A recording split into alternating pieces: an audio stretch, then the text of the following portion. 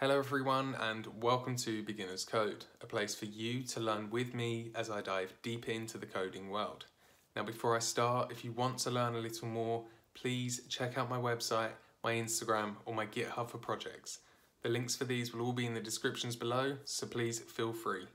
Also, don't forget to subscribe to see more videos from me as I teach you through the basics. Today we will be looking at object-oriented programming and how we can create our own objects using the class keyword. Okay, so when it comes to object-oriented programming, it is quite a big concept and some people do find it extremely difficult. However, the better we can learn to understand object-oriented programming, the easier it is to create code that is a lot more readable, but is also designed around human or real world um, real world objects. So, for example, if we had a car, then yes, we have a car, but we also have a make and a model for the car, which span across a lot of different types. But then we can also go further and we can break down a car by looking at the interior and the exterior, as well as what kind of uh, petrol or diesel or electric so there are lots of things that we can do with a car, but the car is represented as a label of car. Object oriented programming is very similar because we are able to create things that are an are a structure basically of um, real world objects, and each structure will have its own have its own attribute and behavior that will span for multiple different um, versions of it. So we might have the attribute and behavior of a human. The attribute would be name, age, and height, but the behavior would be things like walk, run, and speak. So, t- to get started understanding a little bit about object oriented programming, we have already been using object oriented programming a lot through Python. Now, if you were to say print the type of something. So if I was to print the type of hello, and I think I think there's going to be a little bit of time whilst this just boots up. Yes, so down here we now have class string. So the class of string is actually a um, is actually part of object oriented programming.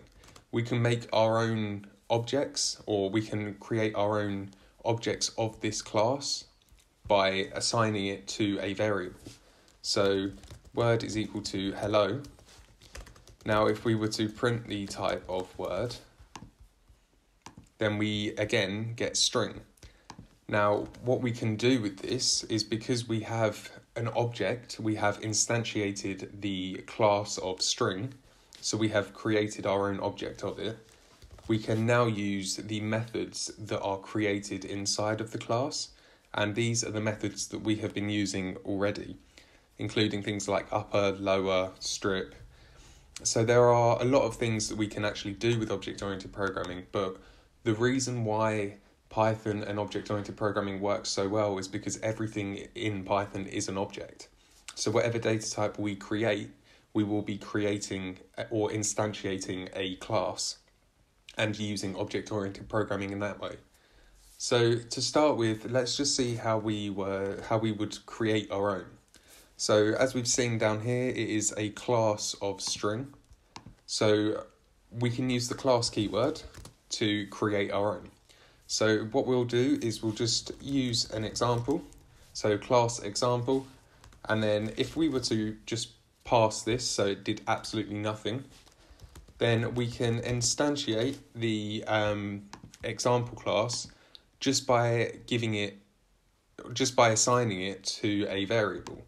So now if we run this, we won't actually get anything back, but we can now print the type of EG. And EG is a variable that has been instantiated by this example class. So if we run this, we now see down here we get class main because that's the file type and then the name example. So this is a class of example from this file. Now there are lots of different ways that we can um, actually get um, object oriented programming under wraps. But to start with, let's just create now our first method. So a method is, as you've seen with the word that I made a minute ago, so word is equal to hello, and then word dot upper. So as I said a minute ago, this dot upper is a method. Now inside of our class, we can create our own methods. So if I was to say def greet and pass in the self keyword, then we can, inside of this method, we can call whatever code we want to run. So say hi. So what is happening here is we have our own um, example class and the only method that it has is a greet method which is made exactly the same way as a function however it takes the self parameter and this means that everything inside of the example class can access this as long as it has the self parameter. So you'll see more about this when we get onto constructors in a minute. But now, now that we have eg equals example, I can now call eg dot greet, and then if I run this and save, we now get here say hi.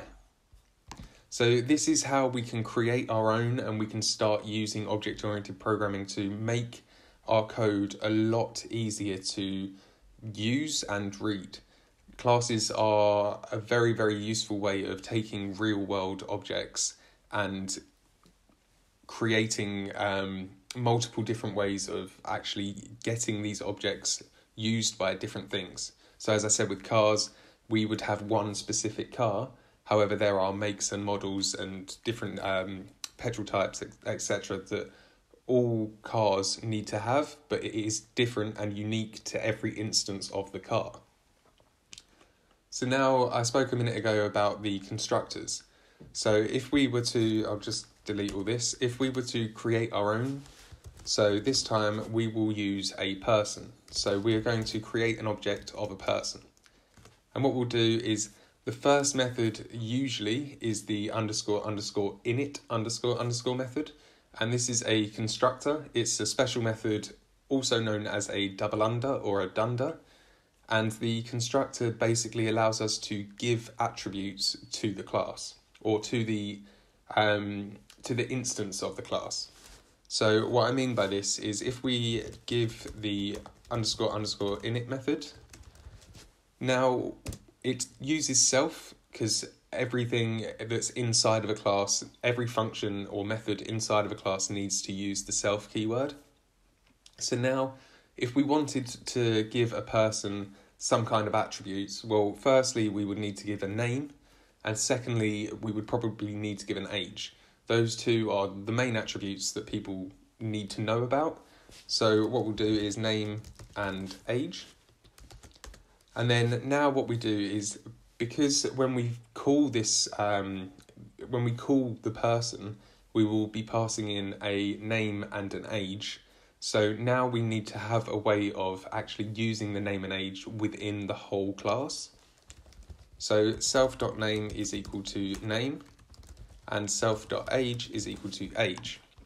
So what this is doing is when it's called so if i create a instance of this class so person one is equal to person, and now we need to give it two attributes. The first being a name, so Chris, and the second being an age, so 26. Now, what we've done now is by using self.name equal to name, when this has been instantiated, we then pass Chris into name, and then we assign self.name to Chris. So every time we are then using self.name within this class, we will be passing in the value of Chris.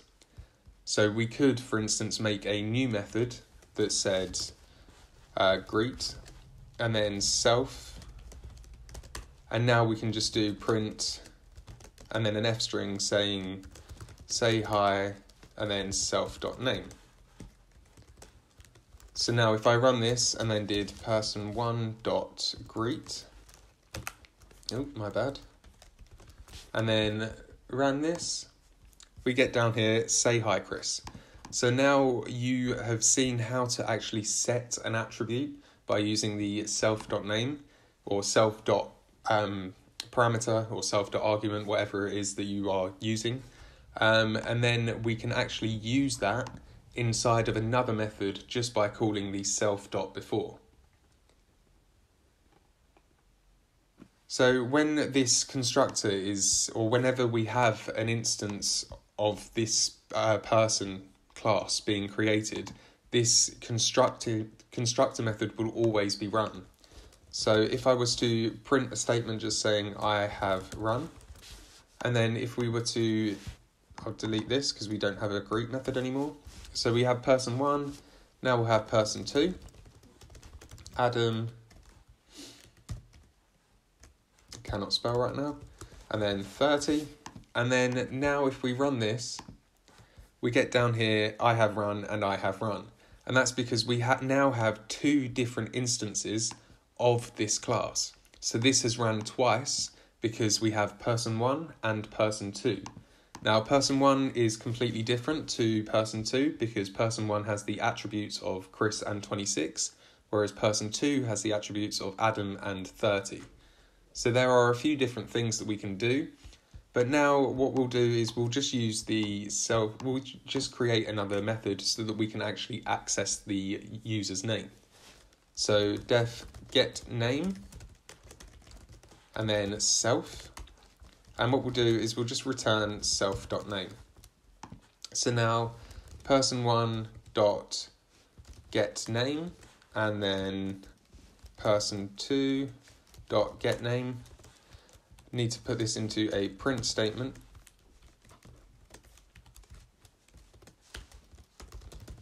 And then because it's only returning the self dot name, so we actually wouldn't output anything. So now we have I have run, I have run, and then Chris and Adam. So we are literally just returning the self.name parameter, which is whatever is passed in here.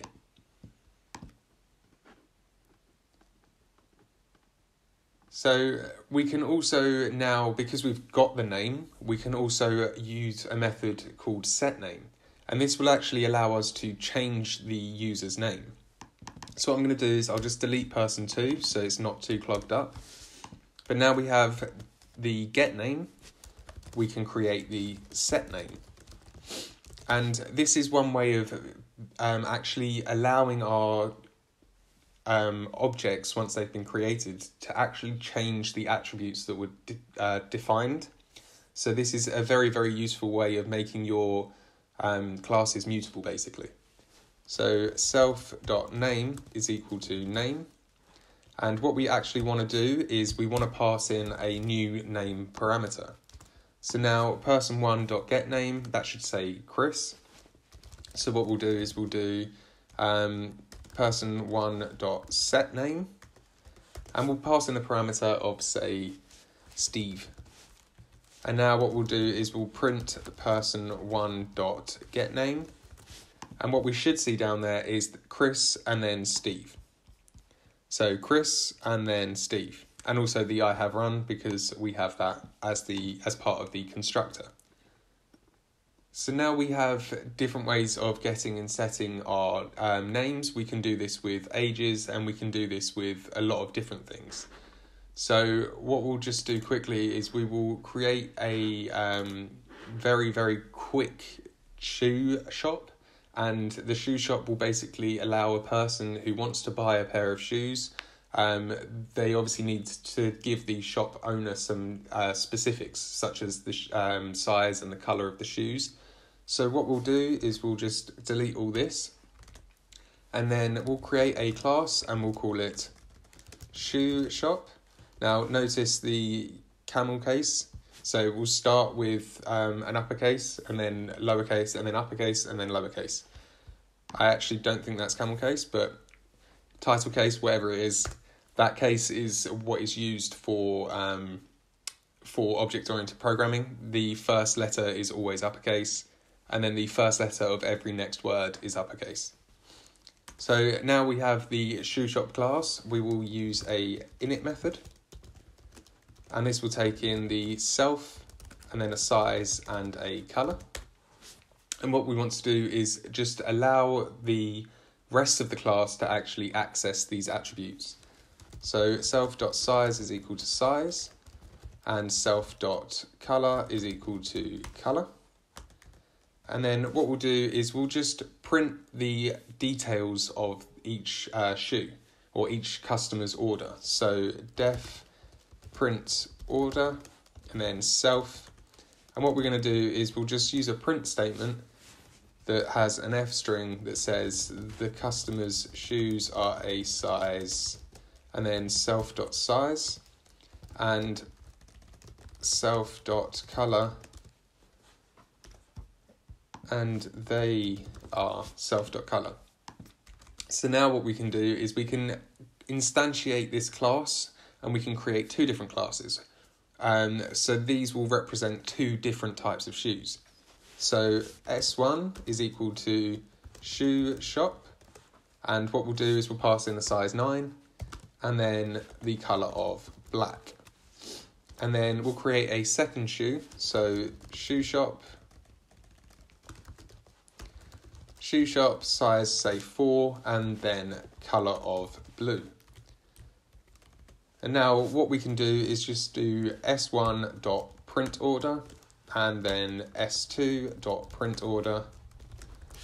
And now if we run this, we get down here the customer's shoes are a size 9 and they are black, and then the customer's shoes are a size 4 and they are black.